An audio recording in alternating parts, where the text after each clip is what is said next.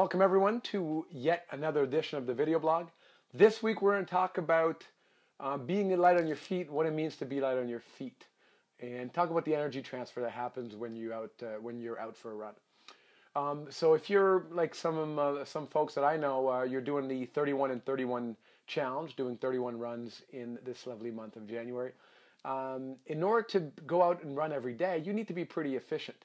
And whether you realize it or not, the energy you put into the ground is the energy that comes back uh, to you after. So a lot of people that get sore from running is they're end up putting too much energy into the ground. So the um, one of the pillars of, of ChiRunning is being light on your feet. What does that mean? It means that the less energy you put in, um, the less energy you put into that ground, the less energy that comes up um, and, and works against you.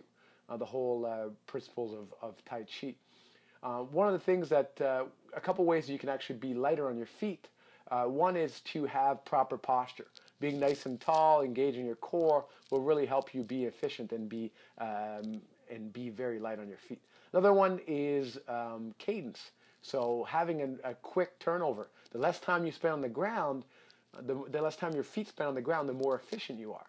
And the third is relaxation. I know this one's a little counterintuitive, but the more you relax, when you're out for a run, the less energy and the less your muscles are going to be working and, and having time to, to spend on that ground or to actually put that foot forward with a lot of emphasis. So uh, keep that in mind when you're out for a run.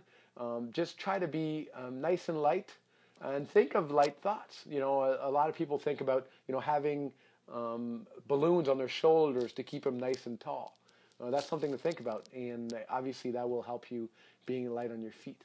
Uh, but just keep keep uh, keep in mind that uh, that energy transfer that happens. Are you pounding the pavement, or are you just simply uh, letting the ground do the work? So keep that in mind when you're out for a run, and uh, I look forward to hearing from you and to share some more of my thoughts on this wonderful world of running. Take care.